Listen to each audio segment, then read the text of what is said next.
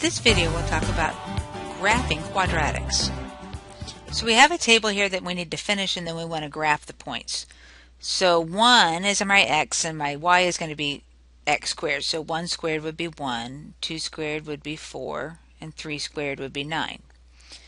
Negative 3, 9 is going to be this point right here. Negative 2, 4 will be right here. Negative 1, 1, 0, 0 positive 1, 1, positive 2, 4, and positive 3, 9. Looks like I have all those points. And if we were to connect them all, it would look something like that. So what is the vertex? The vertex is the very lowest or the very highest point on our graph, and that happens to be right here. In our case, it's the point 0, 0. What's the y-intercept? Where it crosses the y-axis is also 0, 0.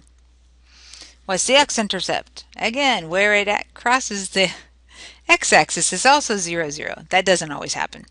And then the axis of symmetry is an imaginary line that splits the parabola in half. If I were to draw that perfectly and fold my paper on the green side, this point over here would go over here, and this point would end up over here, and this point over here. Everything would land on the other side of the graph. So it's a vertical line. That means it's x. And what does x equal where that line goes through? Well, it goes through the origin, so x equal 0. Let's try again. Negative 3 squared would be 9, and then we went the opposite. So 1 squared would be 1, and then we went the opposite, so that would be negative 1. 2 squared would be 4, but we went the opposite, so negative 4. And 3 squared would be 9, but we went the opposite, so negative 9. So negative 3, negative 9 would be this point. Oh, nope, this one. And negative 2, negative 4 would go here. And negative 1, negative 1, 0, 0, 1, negative 1, 2, negative 4, 3, negative 9. Looks like our same parabola, except that this time it's upside down. So the vertex is still the highest, this time it's the highest point, but it, in this case it's still at the origin, and so are our intercepts. And our axis of symmetry is that line that goes through our or, or through our vertex. Will always go through our vertex, so it's x, and what's the x of our vertex? 0. So now we have one graphed. It's two, x squared minus 2x minus 3. And we want to know what the vertex is. Well, if we're looking at a graph, we can tell easily what that is. It looks like it's negative 4 and um, 1. Negative 4 and the y. x would be 1. So 1, negative 4. What are a and b? And that's referring back to the equation. So A is 1 and B is negative 2. So if I do negative B over 2A, negative B would be the opposite of negative 2. So 2 over 2 times 1, which is just 2. And 2 over 2 is equal to 1. Plug this value in for x. So 0 is equal to 1 squared minus 2 times 1 minus 3. 1 minus 2 minus 3. 1 minus 2 is going to be negative 1 minus 3, which is negative 4. And where do you see 1 and negative 4? This is a y value, and this is because we weren't really solving, so y was what it was equal to. Well, x is 1, y is negative 4. That's our vertex.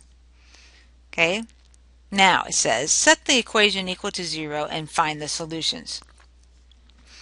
So we have 0 equal x squared minus 2x minus 3. And we can factor that. It's a, a is 1, so it factors very nicely. Factors of negative 3, so we know we have opposite signs. That will add up to 2. Well, there's only one way to factor 3, and that's a 3 and a 1 but it needs to be negative 2 so the bigger number has to be negative. So x plus 1 and x minus 3 would be our factors And then remember, set your factors equal to 0 to solve. So if we have x plus 1, when we subtract 1 from both sides, x will be equal to negative 1.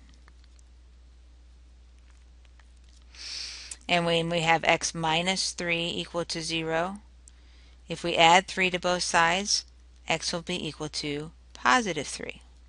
And if you look on your graph, here's your negative 1, and here's your x equal 3. So x intercepts are solutions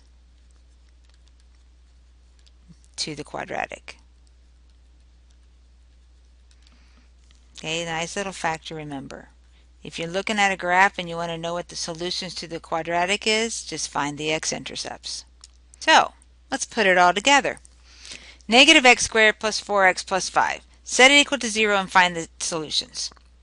We'll just use a quadratic formula. So 0 is equal to this thing. So a equal negative 1, b equal 4, and c equal 5.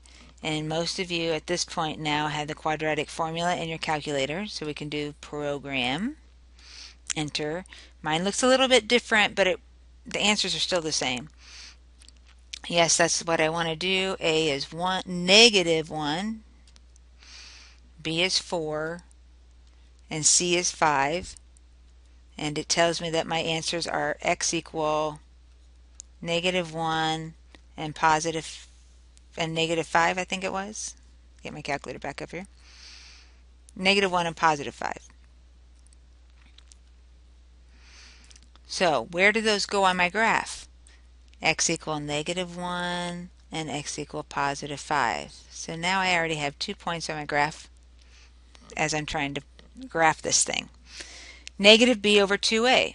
Negative b, well b is 4, so that's going to be negative 4 and a is negative 1, so 2 times negative 1 means that I have negative 4 over negative 2, which ends up just being 2. And this is the x of my vertex. That's what that little v down there means. Plug that value in. And find y. So negative, the opposite of 2 squared, plus 4 times my 2, plus 5. This is the opposite of 4. 4 times 2 is 8 plus 5.